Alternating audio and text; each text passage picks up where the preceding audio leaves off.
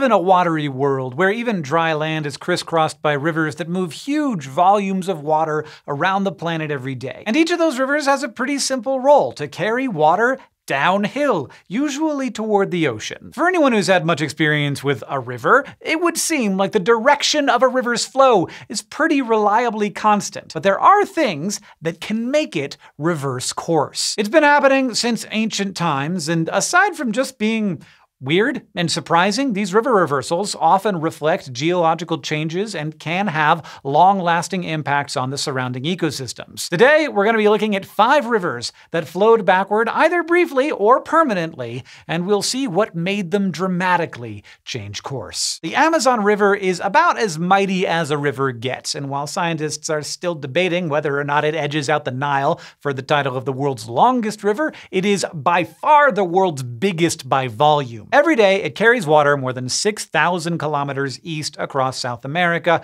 from the Andes Mountains to the Atlantic Ocean. There, on average, it dumps enough water to fill 68 Olympic swimming pools every second. But it was not always this way. In 2006, a pair of researchers from the University of North Carolina made a surprising discovery. They'd been studying sedimentary rocks, trying to figure out how quickly the Amazon moves minerals across the continent from the Andes to the Atlantic. And that is when they found ancient ancient mineral grains that appeared to have come from the mountains that lined the eastern coast of South America back in the Cretaceous period, meaning the minerals had traveled from east to west, the opposite way they flow today. The researchers realized that thanks to those ancient mountains, the Atlantic coast actually sat higher than the land west of it. As a result, when the dinosaurs walked the Earth, water flowed west across northern South America. Since then, various researchers have tried to piece together the history of the Amazon to decipher what made it turn around and begin flowing east. Of course, the answer is always gravity, but as far as what shaped the land and determined the direction of downhill,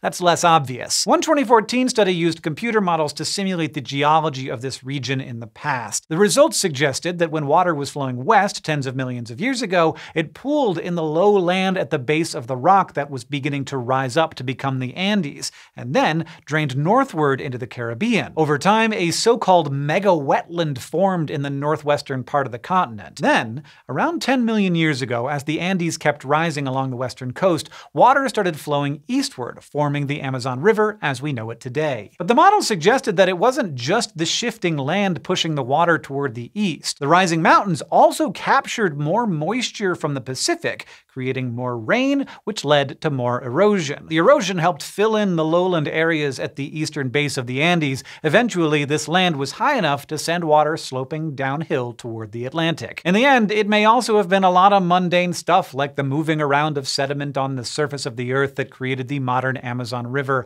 not just the dramatic creation of the Andes. For now, this is still the subject of research, but the results suggest that geology and climate can interact in ordinary yet surprising ways ways to reshape the land and even reverse our planet's mightiest river. Now, the reversal of a river isn't always a slow process that happens over millions of years. In unusual cases, it can happen in almost an instant. And in 1812, the residents of New Madrid, Missouri saw this firsthand. Between December of 1811 and March of 1812, a sequence of earthquakes rattled the central Mississippi Valley. They included three of the biggest earthquakes in US history. Fortunately, there weren't a lot of people living near the area that got hit the hardest because the region got devastated. New Madrid itself got leveled. In the surrounding areas, there were landslides, collapsed riverbanks, and islands that vanished. But one of the strangest things that eyewitnesses reported was that for a short time, the Mississippi River seemed to flow backward. Now, the Mississippi River runs from north to south. It starts at a glacial lake in Minnesota and empties into the Gulf of Mexico. But right after the February 7th quake,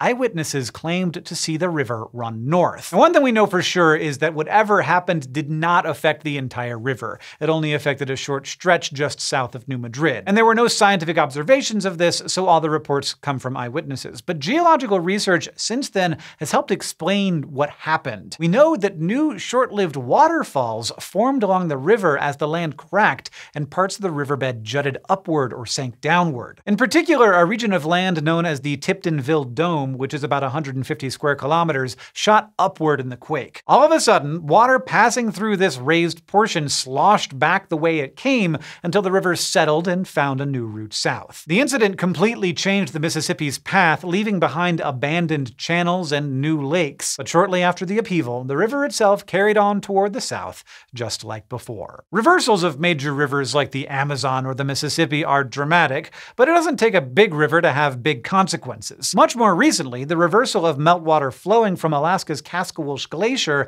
completely changed the way water drains in the region in just a month. Before May of 2016, much of the glacier's meltwater drained northward along the Slims River, eventually emptying into the Bering Sea. But in May of 2016, the water that used to travel north started draining southward down the Kaskawulsh River, which empties into the Pacific, and weeks later, the Slims River nearly ran dry. It was an instance of what scientists call river piracy, in which water feeding one stream gets diverted into another. And it's not unheard of. Plenty of historical and geological records point to river piracy. But the thing is, it usually happens over geologic timescales, like at least thousands of years, not weeks. And scientists realized that this unusual case of river piracy happened thanks to something else that is happening faster than it ever has before climate change. That spring, temperatures rose consistently above freezing a couple of weeks before they usually do. Thanks to these warm temperatures, higher than usual levels of meltwater carved a canyon into the thinning glacier that funneled water southward instead of north. This cut off most of the water from the Slims River as the Kaskawulsh River swelled. It also completely reorganized water drainage in this region, and that's likely to have an impact on the ecosystems and human populations surrounding it. One immediate consequence is that the dry floodplain of the Slims River started having almost daily dust storms. And over time, the new flow of water and sediment is likely to alter habitats and erode and shape the land in unpredictable ways. And as glacier melt accelerates with our warming climate, the river systems that stem from glaciers can be in for an abrupt and dramatic change. Now, it may be too soon to say what the lasting consequences of the Slims River capture will be, but a more ancient instance of river reversal shows how an event like this can shape ecosystems in the long term. Today, New Zealand's Kaituna River travels northward. But back in a 1970 study, one researcher noted something a little odd. He was looking at a drainage region known as the Marlborough Sounds, which contains the Kaituna River, and he noticed that the tributaries intersected with the sounds at acute angles that pointed to the south. Typically, the direction of these angles reflects the direction of water flow. So based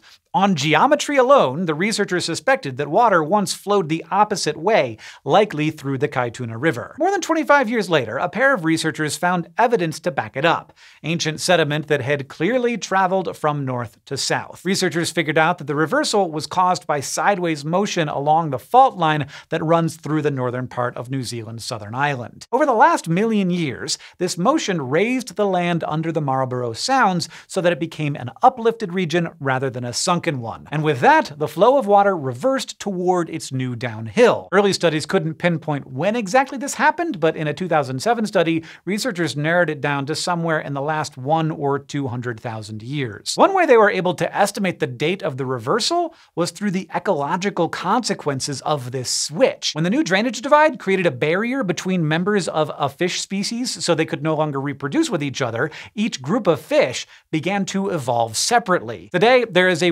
1.6% genetic difference between the two populations, and scientists were able to use the amount of genetic divergence, among other clues, to estimate how far back the species had split. Many river reversals caused by geological changes are permanent, but some rivers periodically flow backward and then switch right back. In general, this happens in sections of rivers that are affected by ocean tides, which can push seawater upstream as they rise. But there are also some exceptional cases of rivers that periodically reverse their flow, and among the most remarkable is the Qiantang River in China. During especially high tides, the river forms what's called a tidal bore, basically a large wave of high water that rolls upstream. And it looks incredible. Almost a vertical wall of thundering water with a foamy front that rolls over the flat lower tide. Like other tidal bores, the Qiantang Bore forms in an estuary, the funnel-shaped region where the mouth of the river meets the ocean. How exactly bores form involves some complicated fluid dynamics that we will not get into here,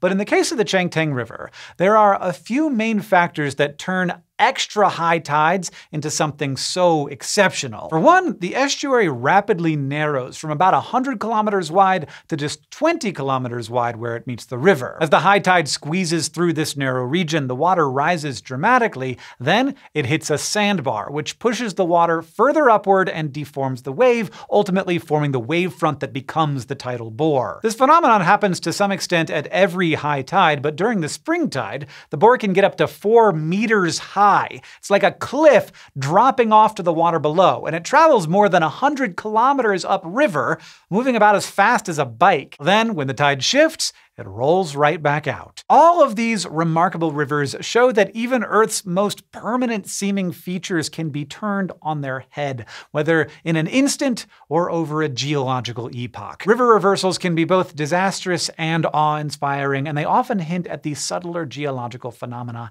happening around them. Thanks for watching this episode of SciShow, and if you liked learning about these wild rivers, I bet you would love our podcast, SciShow Tangents. In it, some of the fun people involved in SciShow get together together for a lightly competitive knowledge showcase. Every week, they rack up points for teaching the others and everyone listening at home the most mind-blowing science facts relating to the week's theme. Like there was a whole episode about rivers, for instance, where we talk about how they form and bridges that cross them, and even salmon. And if you love science and laughing and light-hearted nerdy competitions, you should check it out. You can find SciShow Tangents anywhere you get your podcasts.